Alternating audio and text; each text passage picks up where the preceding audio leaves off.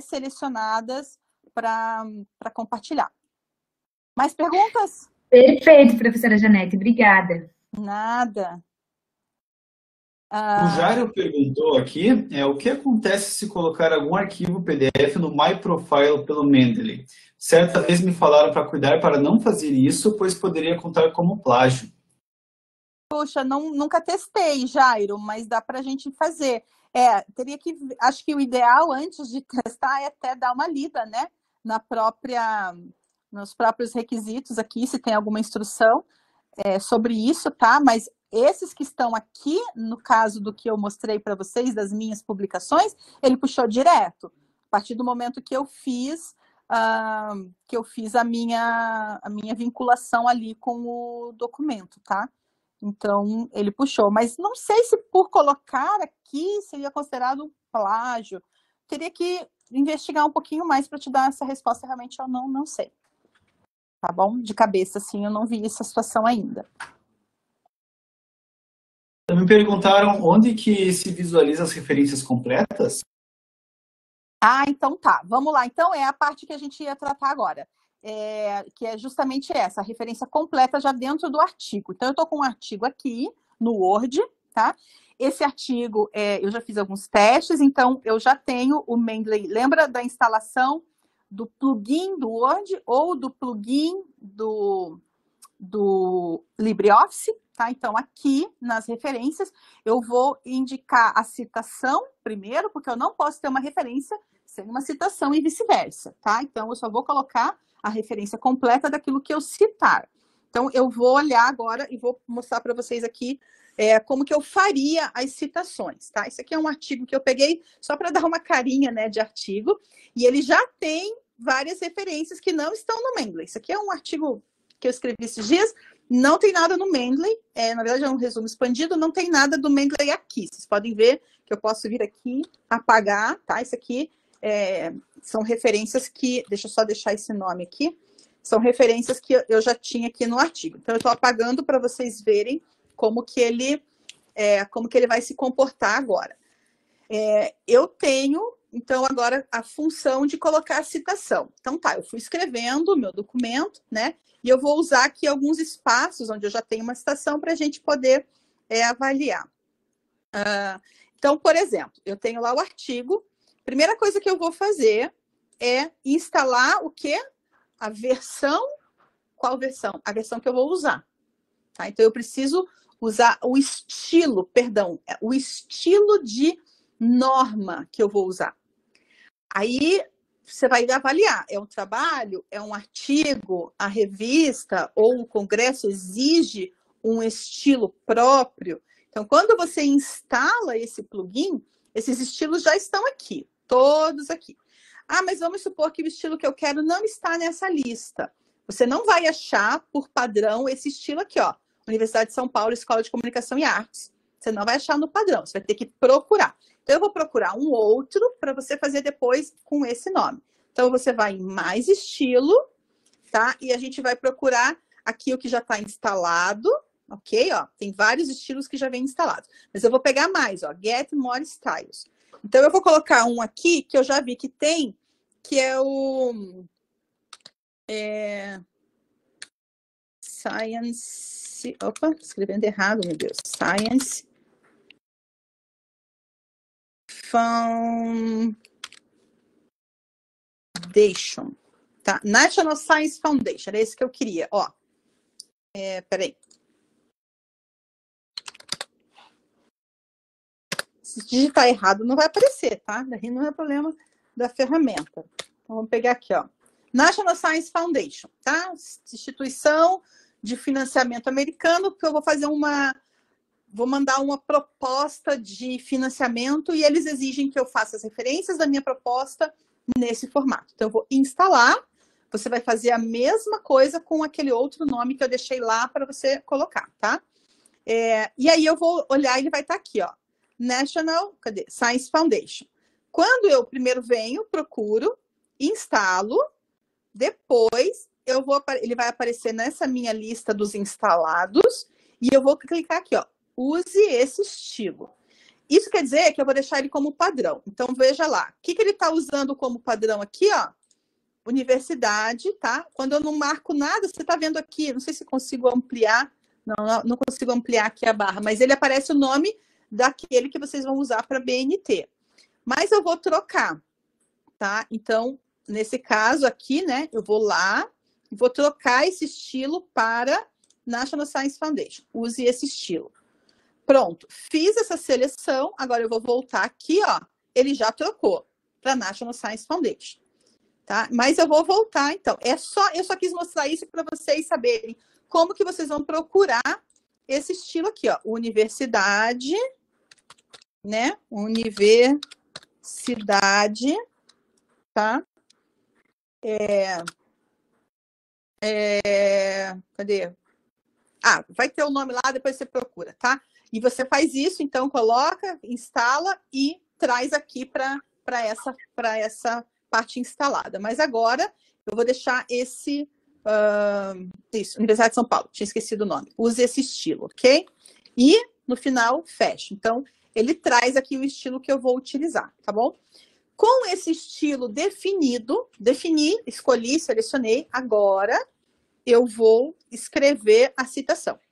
Então, eu venho aqui e clico aqui, ó, Insert Citation. Aí eu vou digitar. Vou digitar aqui Ferraz, tá? Ah, tá aqui, ó, achei. Ferraz, ó. E eu venho e clico aqui, ok. Tá? Então, o que, que ele fez? Trouxe para mim a referência do Ferraz. Ah, mas eu quero várias referências. Vou citar uma outra aqui, ó. Ah, vou, eu vou continuar aqui. Ferraz, eu vou colocar aqui, eu vou tirar essa e vou colocar o Ferraz novamente, ó. Só que você tem que, né, formatar bonitinho e tal. Então, tem aqui o ponto, tá? Eu vou colocar espaço, aí eu vou colocar insert e vou colocar aqui Ferraz. Pegar o mesmo, tá? Pra gente poder... Ok? Ok, peguei o mesmo. Só que agora eu vou continuar. Essa coesão interna, conforme... Lembra daquela outra citação que a gente faz dentro do texto? conforme. Opa, faltou um R. Como é que é o nome ali? Ferraz e Belhote. Tá? E é que fornece. Então tá. Lembra que eu colocaria aqui, o que, que eu faria agora na norma? Apenas isso aqui, né? 2010. E é uma página ou sem a página é, se não for ali uma citação direta, tá? Vamos supor que eu quero colocar com ou sem a página, tanto faz. Eu vou apagar, que eu quero colocar só o ano. Só o fe... eu, não vou... eu não quero que ele repita Ferraz, tudo de novo, eu só quero o ano. Então, eu venho aqui, insert, escrevo Ferraz, clico aqui, aí eu vou clicar em cima do nome aqui, ó. Tá vendo que eu cliquei em cima do nome? Aí eu quero colocar aqui, ó, página 10, tá? E aqui, ó, suprimir o autor. E dou OK. Pronto. Ele vai trazer o complemento da referência fora da citação, fora, né, do parênteses, que daí a citação está dentro do texto, tá? É, com a data e a página, somente essa, esse complemento aqui.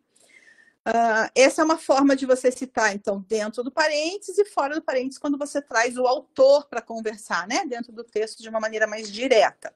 Agora, vamos supor que aqui eu não tenha só uma, eu tenha várias referências. É, às vezes você tem, né? Um conjunto de autores que tratam de vários temas, é, do mesmo tema. Então, eu vou clicar em Insert e eu vou aqui, ó, Go to Mendeley, tá vendo? Vou clicar aqui e agora eu vou escolher lá na pasta. Então, eu vou dizer que é, eu vou pegar essa, esse aqui, ó. Que esse conjunto de autores aqui, ó, uh, tem A, tem B. Deixa eu pegar esse passado para vocês verem como que ele coloca na ordem alfabética. Vou pegar um com a letra A, um com a letra B, vou pegar um com a letra G, H. Eu estou com, com o Ctrl apertado, tá? Segurando a tecla Ctrl e marcando aqui, ó marcando, marcando, vou pegar. Então, para mim, todos esses autores aqui, eu quero inserir todos eles juntos na citação. Eu marquei todos eles, eu vou vir aqui, ó, cite, tá vendo? Ó? Clica aqui e a mágica acontece. Todo mundo está aqui em ordem alfabética, na norma, e dentro dos conformes e depois eu receito um bombom no ouro branco por essa informação. Tô brincando, não precisa do bombom, não. É só para vocês verem como isso facilita a sua vida. Ah, mas Janete, eu vou ter que ficar caçando? Não, lá na sua leitura, né? Lembra que você poderia vir aqui e anotar. Ah, vamos anotar bibliografia DIP, né? Eu vou fazer a busca aqui, eu tenho já alguns, tá? Então, o que, que eu vou fazer? Eu vou apagar esses, esses aqui. Eu vou fazer novamente com a forma de pesquisa aqui, ó. Insert, go to Mendeley. Aí eu vou aqui, ó. Eu vou tudo que eu citei lá no CIDIP. Esses aqui, ó. Tá? Eu marquei todos. Eu Lembra que bibliografia CIDIP estava lá nas notinhas? Né? Eu marquei na notinha. Isso aqui está espalhado em vários locais, em várias pastas. Ele vai buscar em tudo, tá? Uh, uh, peraí, não, perdão, porque estava marcado aqui, ó, importação. Eu vou colocar em, em todos os documentos aqui, tá? A busca que eu quero fazer em todos os documentos. Ó, viu como eu estava passando informação errada? Eu tenho que marcar aonde eu quero. Todos os documentos em que eu marquei a opção bibliografia CIDIP, eu marco tudo isso. Não precisa estar numa pasta só. Conforme eu fui lendo e fui atribuindo os autores aquele assunto, eu vou clicar aqui e ele vai colocar da mesma forma aquele conjunto que eu encontrei que tinha ali bibliografia CIDIP. Tá bom? Então, essa forma aqui de fazer a citação é uma maneira muito rápida, muito fácil. Aí lá, lá embaixo eu vou colocar a referência, né? Cadê as referências completas lá que houve essa pergunta? Então eu vou vir aqui, ó, insert bibliografia. Pronto, ele vai puxar na norma que eu estou trabalhando aqui, ok? Toda a bibliografia que eu citei. Então aí acaba aquela coisa, né? De citei, não está na referência. Botei na referência, esqueci de citar. Né? Que depois você gasta horas, que eu sei que você gasta, é, procurando, achando, fazendo um, cara crachá lá, procurando um por um. Só que aqui, pela norma, ele trouxe um pouquinho errado, tá? Pela norma de formatação. Ele trouxe justificado. Isso aqui não é justificado. Isso aqui é a esquerda, tá? Então você faz um ajuste pequeno que não é nada, né? É, nenhum tem mais uns ajustes aqui para fazer, mas não é aula de norma, mas é, você vai fazer lá o, a, um espaço entre elas, vai fazer, né, se fosse aqui para botar mesmo no, nos conformes, então você vai colocar aqui, né, o espaçamento é simples, tá? É, aqui eu tenho a entrada aqui o que der, e o que é e o que o que recua é embaixo, tá? Na terceira letra, e eu tenho um enter em cada uma. Então, com um pouquinho de ajuste, ó, eu já deixei as minhas referências nas normas.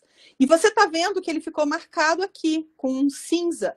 Tá? Isso aqui é uma macro, é uma, uma programação que está vinculado ao Mendeley, que está vinculado à sua citação, que está aqui em cima, ok? Ó, citação também fica cinza, aqui também fica cinza. Então, isso tudo está ligado. O que, que você vai fazer para mandar para o seu orientador ou orientadora fazer essa correção? Ou mandar para revista. Você acabou o artigo, vai mandar para revista.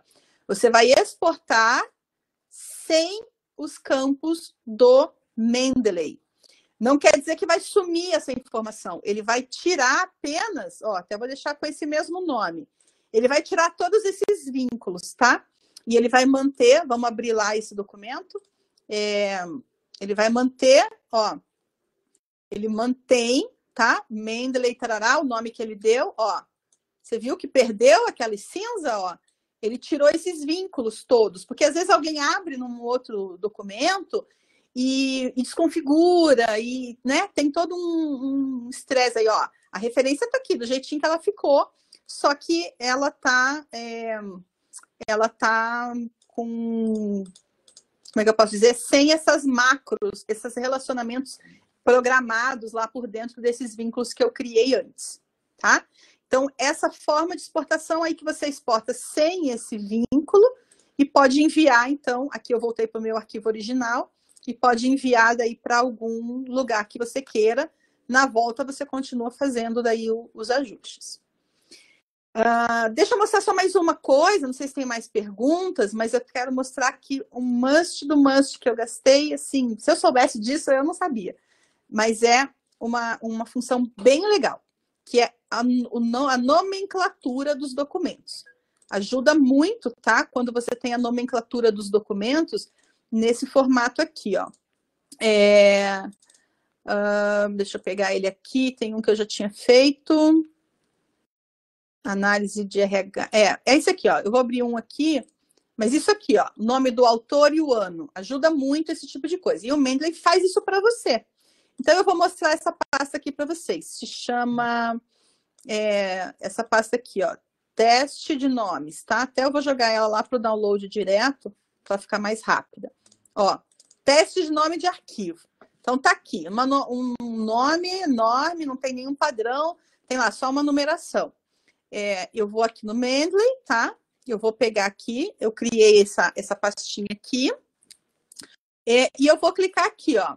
É, vou colocar o nome aqui, clicar, deixar marcado, tá? Aqui em cima. Opa. Aí eu vou em Tools, né? Ferramentas e opções, tá? E aí, dentro dessas opções, deixa eu até tirar isso aqui, que isso aqui não tem nada a ver. É, eu vou vir aqui e vou pegar opções. Então, eu quero copiar para essa pasta aqui, teste de nomes de arquivos. Um, aqui, perdão, eu falei uma informação errada. Eu não vou copiar para cá, eu vou copiar daqui para lá tá? Eu vou pegar esses nomes aqui e eu quero que vocês vejam essa uh, alteração da, da pasta, tá? Como é que ele vai ficar lá na pastinha. Hoje ele tá assim, né? Deixa eu fechar isso tudo aqui para ficar melhor para vocês verem. Ó, então ele tá assim. Então, agora eu venho aqui e eu vou vir aqui em Tools, tá? Opções. Aí eu tenho Details, File, File Organizer. Tá? Então, eu vou escolher que eu quero que ele copie para essa pasta, que se chama teste de nomes de arquivos, tá? O que, que eu quero que ele faça? Eu quero que ele crie subpastas? Não, eu não quero que ele crie subpastas. Por quê? Porque se, ele, se eu colocar aqui que eu quero que ele crie subpastas, ele vai fazer isso aqui, ó, que eu tinha mostrado antes, tá vendo? Ó, ele vai fazer isso aqui, ó, uma pasta para cada autor. Aí aqui dentro você abre, tem mais uma, daí tem o nome do arquivo. Não, a gente não vai fazer isso, tá? A gente não vai criar assim, ó, uma pasta para cada autor. A gente quer o arquivo direto. Então eu vou vir aqui, vou deixar isso aqui desmarcado, ou seja, distribua, né, os arquivos em subpastas. Eu não quero, vou deixar isso desmarcado. E eu quero que ele renomeie os documentos para mim. Olha que lindo, um por um, sem eu ter que digitar Gente, isso aqui é um ganho de tempo enorme. Ah, mas como que eu quero? É, tá vendo aqui embaixo? Exemplo? Ó, autor e ano. Eu posso mudar. Posso jogar isso aqui para cima, posso jogar isso aqui para baixo, posso jogar isso aqui para lá e ele vai me mostrando. O melhor, tá? É autor e ano. Esse é o melhor, porque você consegue ter a ordem alfabética do autor e já na sequência o ano, você consegue fazer até aquelas, aquela norma lá do ABC, quando você tem o mesmo autor e o mesmo ano. Então, ajuda muito, tá? Então, eu falo aqui, File Organize, eu quero para que nessa pasta ele jogue esses documentos com esse padrão de nome. Eu vou dar um aplicar, daí ele vai perguntar, tá? Você quer fazer isso com essa pasta? Sim, quero fazer isso com essa pasta. Aí eu vou dar OK. E todas as outras vezes que eu fiz funcionou. Vamos ver se agora funciona. Ó, que, que ele fez? Ele jogou para mim é, os nomes, tá? Nesse padrão. Ele, ele, na verdade, ele trouxe aqui, eu acho que na hora que eu fiz não estava marcado aqui. Talvez ele tenha pego de outros lugares. Mas ele funcionou. Ele trouxe aqui, ó, cada documento, tá vendo? Com o nome do quê? Do autor ou dos autores e o ano. Automaticamente. Ah, mas Janete, isso aqui tá errado. Não é expressão. Se você for lá e abrir você vê que não é. Aí quando você vê uma coisa muito fora, assim, você dá uma conferida, dá um double check. Expressão, será que é isso mesmo? É, não é, tá? Então ele trouxe de algum outro lugar. É porque o artigo não veio de uma base, você viu que era um PDF ali, né, de um texto genérico, tá? Então ele não vai achar. Mas quando você traz um artigo mesmo num formato, ó, vamos pegar isso aqui do, do Enslin, ó, da, da bibliometria, ele traz certinho, então tá lá são três, os nomes são iguais, né? E Lacerda, e lá ele marcou para mim, ó, Lacerda, é, Slim Slim e ano, tá? Ele puxou de dentro do PDF, isso ele puxou de dentro do PDF, gente, e colocou esse nome pronto, sem eu ter que digitar todo esse trem aqui de, de nomes e deixar organizado para mim. Porque quando você baixa de um arquivo, né, de, um, de uma base, ele vem com qualquer nome, né? Ele vem com letra, com número, vem uma bagunça. Então, você pode trabalhar com a organização por meio dessa função. Aqui, Options, né? File Organize, escolhe a pasta que você quer fazer. Pode escolher se quer separar por hífen, por ponto, por vírgula. Então, assim, não pode ter medo de, de arriscar, de tentar, né? De ir vendo, mas aqui acho que vocês já têm bastante elementos para trabalhar bastante coisa dentro desse, dessa ferramenta. O que mais? Perguntas? Perguntaram também se só consegue exportar de 10 em 10 no Mendeley e também se é possível trabalhar em colaboração com duas ou três pessoas. Sim, é possível. Vamos primeira primeira pergunta. Não, não, não consegue só de 10 em 10, tá? É que eu fiz ali porque tinha 10, tá? Mas você pode exportar e importar de quantos você quiser. Se eu tiver, eu quero importar a minha biblioteca inteira de uma vez, eu consigo, tá? Não precisa ser de 10 em 10, não. É, inclusive aqui, né? Essa que eu estava aqui, a página tinha 20, ó, mas se você vier aqui, você consegue ver que tem como aumentar até 200. Cada base de dados vai ter uma maneira dessa para você exportar da base para o Mendeley. E do Mendeley é a mesma coisa, você pode exportar a pasta inteira. Vamos pegar uma pasta grande aqui que eu tenho, ó. Essa pasta aqui tem vários documentos, tá? Deixa eu pegar, acho que essa da essa aqui tem 99, ó. Tem 99. Eu posso vir aqui tá dentro dessa. Eu clico aqui, tá? Marco, peraí, só um pouquinho. Marco todas, ó. Então tem 99 documentos, tá marcado aqui, ó. Eu clico com outro botão uh, e exporto, tá? E exporto como? Exporto como RIS, por exemplo. Posso até colocar o nome da minha pasta. Que nome que é essa pasta aqui? Exportação. Deixa eu pegar essa aqui, ó. Vou botar só HIS, que eu já sei o que, que é. Ó, HIS, RIS. Ele vai exportar os 99. Se eu quiser abrir o zoteiro lá. Ah, putz, acabei fechando, desculpa. Deixa eu puxar aqui, ó. Se eu quiser abrir esse aqui, ó. Uh, quero abrir com o Zotero, ele vai abrir os 99 lá. Ele exportou todos e já criou uma pasta. Só estou mostrando para você ver que ele traz todos, tá? Ó, gostaria de importar, ok. Ele vai criar a pasta para mim, HIS e vai trazer os documentos, tá? Ó, HIS está aqui. Agora, aqui no cantinho, ele está importando só para a gente conferir. Deixa eu abrir de novo, porque eu acabei fechando. Ai, gente, desculpa, eu, eu fechei o compartilhamento. Ah, perdão. Deixa eu voltar aqui e fazer de novo, para vocês verem. É... Vou fazer de novo, tá? Que não estava, nesse momentinho, não estava compartilhando. É... Vou fazer a exportação do, eu fechar isso aqui. Fazer a exportação aqui do. Peraí, Mendeley. Vou fazer a exportação do Mendeley, tá? Dos 99 ali. Deixa eu apagar essa pasta, vocês acabaram não, não vendo. Deixa eu remover isso aqui e vou fechar. Ó, então eu tô aqui nessa pasta que tem 99 documentos, tá? Essa da pasta aqui, ó. Eu vou, eu vou selecionar todos, ó, 99 documentos. Selecionei todos, vou exportar aqui com o botão direito do mouse, exporto. Vou escolher aqui o formato, eu quero o formato RIS. Vou colocar aqui o nome da pasta, ó. É, vou colocar aqui o nome da pasta, que é o nome que eu estava trabalhando. Deixa eu fazer dois, né? Porque eu fiz o primeiro ali, estava sem compartilhar a tela. Vou dar salvar. Aí ele vai exportar um arquivo, formato RIS, com os 99 documentos, tá? Tá aqui, ó. Ele não fez ainda, deixa eu... Aqui, ó, tá aqui, ó.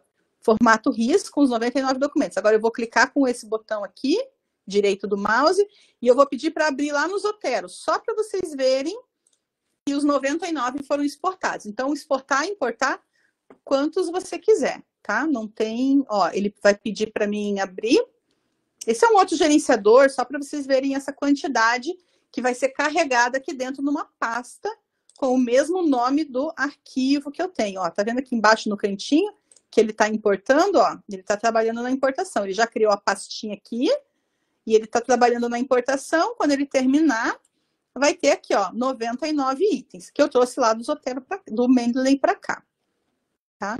Então, não tem limite, tá? O arquivo, qualquer, qualquer quantidade. Qual que foi a outra pergunta? Se é possível trabalhar em colaboração com duas ou três pessoas. Ah, sim, muito boa pergunta. Até esqueci de mencionar. Sim, o Mendeley ele é colaborativo, né? Você pode fazer, você pode criar pastas aqui, ó, tá? Com grupos. Então, vou colocar aqui o grupo do CIDIP, tá? Você pode criar pastas. É... Peraí. Colocar aqui. É, pode ser uma equipe, pode ser. Ah, pode ser uma. Ah, enfim, né? Quem, ele está sincronizando, por isso que ele. Agora ele terminou. Vamos ver aqui. É, pode ser a tua equipe, pode ser o teu professor, é, enfim, tá? Pode ser qualquer pessoa. Ele não está criando aqui, não sei se. Deixa eu dar um refresh aqui na tela. Vou criar aqui embaixo. Ó, eu vou criar um grupo aqui, tá? Vou criar no desktop. Você vai ver que às vezes ele não tem. É, ele tem as mesmas funcionalidades, algumas coisas têm é, umas funcionalidades a mais, outras a menos, tem coisas que se complementam. Então, às vezes é bom usar as duas versões eu posso convidar aqui. Então, eu vou convidar alguém aqui, um e-mail, é, sei lá, teste.gmail.com, não sei se ele vai chamar, mas aí eu mando um convite, essa pessoa vai receber o convite para participar da minha pasta. Entendeu? Então, lá com o e-mail dela, ela vai conseguir trabalhar aqui nessa pasta, tá? Então, você pode criar esses grupos aqui, sem problema nenhum, e aí você trabalha junto é, com, em colaboração coloca aqui os arquivos que você quer que sejam criados, tá? Deixa eu ver se aqui sincronizou, se ele vai aparecer aqui. Ó, agora aqui não deixou eu criar, mas ele apareceu aqui, tá vendo? Ó? E você pode também trabalhar com grupos públicos, tá? Daí fica aberto, você não precisa convidar ninguém, todo mundo que tem acesso ao Mendeley é, acessa. É, Lembre-se que o Mendeley, ele é também uma rede de uma rede social ali entre pesquisadores, tá? Eu nunca usei essas funcionalidades de rede social, mas é, eu sei que existe, é uma coisa que vocês podem também adotar. Mas sim, pode trabalhar em colaboração, tá? Eu tinha esquecido de mencionar, isso é bem importante. Vou fechar isso aqui. O um, que mais? Também perguntaram se ele aceita arquivos só de imagens, né? É, e em todas as extensões, tipo GIMP, JPG, etc.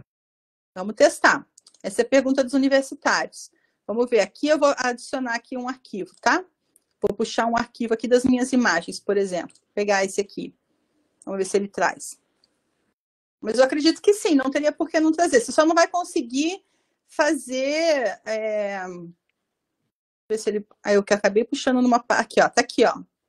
Tá? Ele até trouxe, sim, ó. Tá aqui a imagem.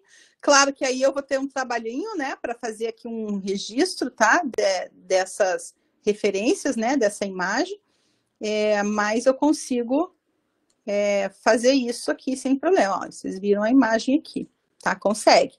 Aí teria, eu não vi assim detalhadamente todos os formatos, mas você pode, claro, qualquer arquivo, qualquer suporte, é, perdão, qualquer formato de arquivo pode ser usado como uma referência, né? Uma imagem, um código, um, um Excel, é, qualquer um deles. Então, você tendo o documento aqui, o que, que vai ser importante? Você conseguir fazer aqui do lado, colocar tags, colocar os dados que ele não vai puxar como um PDF, que ele puxaria automaticamente, tá? Mas você pode fazer sim. Pode fazer essa, essa seleção aqui por, por tipos né, de documentos. Pode, inclusive, criar pastas, né? Se de repente você quer criar uma pasta só das suas imagens, você pode criar essa pasta aqui e fazer a trazer os arquivos para cá. E a, e a lógica daí é a mesma, né? Você vai vir aqui, eu vou pegar aqui alguma, pegar essa aqui, por exemplo. Você vai colocando as imagens aqui, só que lembrando que você vai ter que, daí, que dar os nomes, porque depois, se você citar essa imagem no seu trabalho, é, ele vai precisar, né, ter. Então, por exemplo, se eu for colocar aqui, ó, como é que ficou ali?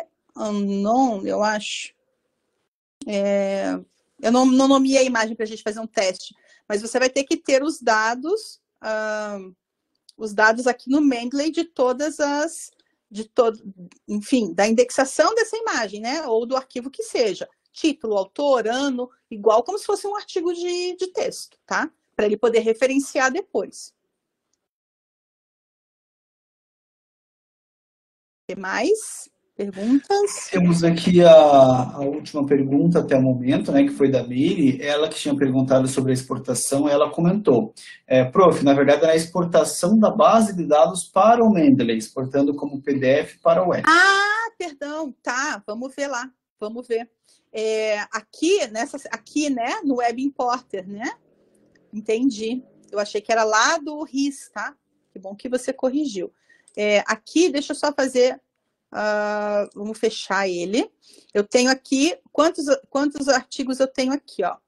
Dentro da visualização desta página, ok? Eu tenho, eu acho que ele, ele limitou em 10, porque 10 é o que está nesta página, tá?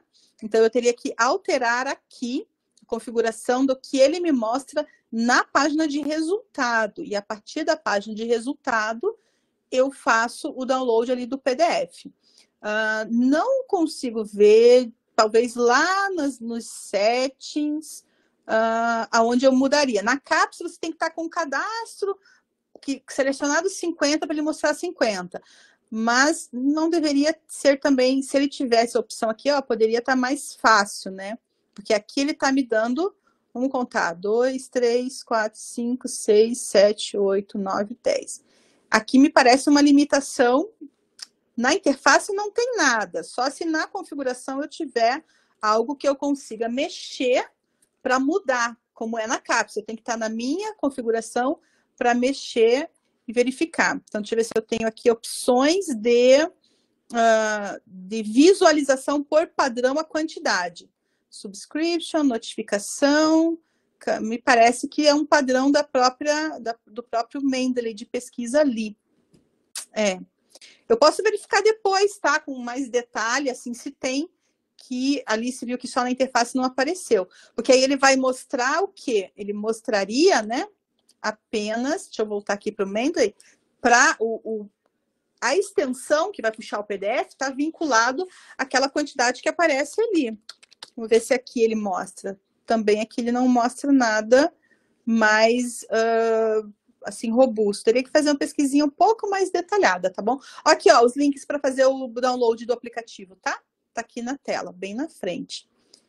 Mas, em princípio, se for uma limitação da ferramenta, em termos da visualização, né? Vamos ver se aqui ele tem, na parte do Web Importer. Eu não testei muito essa parte aqui. Vamos ver se aqui ele tem, adicionar PDFs. Aqui também não me parece que tem nada. Vou voltar para a lista. adicionar se os PDFs estão concluídos. Deixa eu ver se eu, ele visualiza a biblioteca aqui. Ele vai visualizar a minha biblioteca mesmo. Então, acho que é uma limitação da própria, daquilo que ele encontrou na página, tá? De página por página. Porque depois que eu baixo, eu vou ter que fazer o quê? Avançar aqui, ó, para a próxima página. E daí verificar no Web Importer o que está disponível nessa próxima página tá? Ó, não, não tem aqui uma configuração sobre isso, assim, a prova de bobo, vai, vai ter que fazer uma busca mais detalhada, mas eu chutaria que não, é uma limitação do próprio. Porque o Mendeley aqui ele facilita a pesquisa, mas lembre-se que a principal fonte de pesquisa da Elsevier não é o Mendeley, né? É a própria Scopus. Então, ele já aqui sim, ele tem mais funcionalidades, tá? A Laís Almeida perguntou agora se ela pode incluir outras referências, mesmo que só em texto, por exemplo, podcast e reportagens em vídeo. Pode, ótimo. E olha que legal, o Mendeley faz uma diferenciação disso, tá? Quando você escolhe aqui, você pode sim, lembrando, é a mesma coisa da imagem. Eu posso baixar, eu tenho um arquivo aqui de áudio, por exemplo, eu quero baixar um podcast, um MP3. Eu inseri vai ser a mesma coisa. Eu vou ter que indexar os dados aqui. Vou ter que dizer quem é o autor, qual é o ano, porque o Mendeley ele vai ler automaticamente do que é mais padrão, né? PDF, artigo científico, que já tem ali os campos aonde vai cada coisa. Então, nesse caso, você vai ter que pôr manualmente, ó, 2021, né? No, no caso, não vai ser página, vai ter lá o, o texto do resumo. Você pode colocar tag podcast, por exemplo tá? Sempre com ponto e vírgula para separar. Depois você pode buscar por podcast igual a gente tem aqui, ó, nessas, nessas buscas. Opa, deixa eu voltar aqui. Você pode fazer várias, vai completar na mão esses podcasts e depois, quando você for fazer a sua referência aqui, né?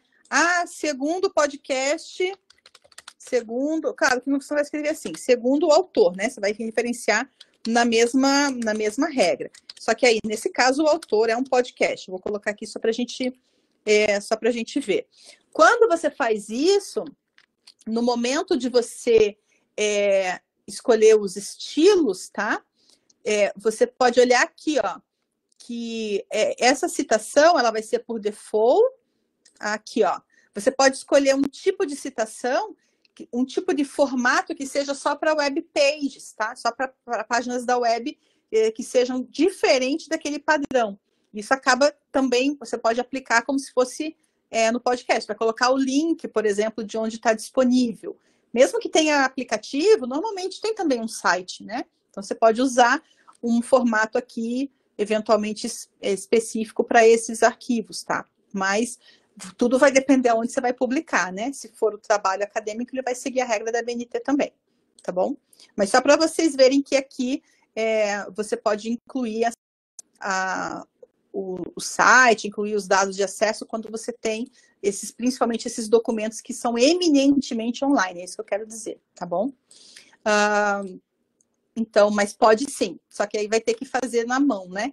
E o, a grande vantagem do PDF, de um arquivo científico, uma tese, uma dissertação, é que ele já puxa alguns dados para você ali, que são os dados que você vai precisar no, na lista de referência, tá? Deixa eu ver aqui se na minha lista de referência ela ficou completinha. Tá, ah tá, a gente já tinha colocado. O uh, que mais que tem aqui? Eu acho que eu passei todos os pontos mais assim interessantes, tá? O que, que eu, o que, que eu, é, o que, que eu reforçaria, né?